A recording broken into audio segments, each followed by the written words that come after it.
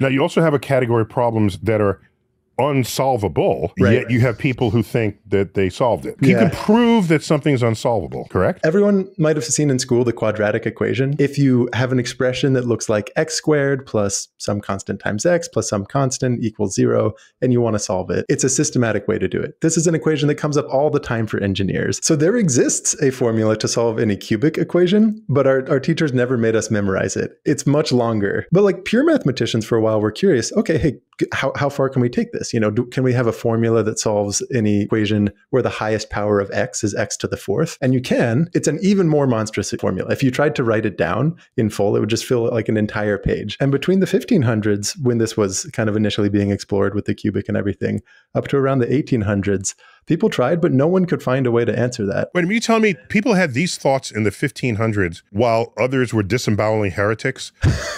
yeah, it's Th- these two things coexisted. It's it's wild to contrast history of science. The answer ended up being it's literally impossible. If you're trying to write a formula using the usual symbols that we do, plus, minus, times, divide, maybe you allow for roots and things like that. If these are the operations at your disposal, you will literally never be able to write down a formula for degree 5 or higher. It works up to fourth Yeah, order polynomial, but not fifth. And then suddenly 5, it stops.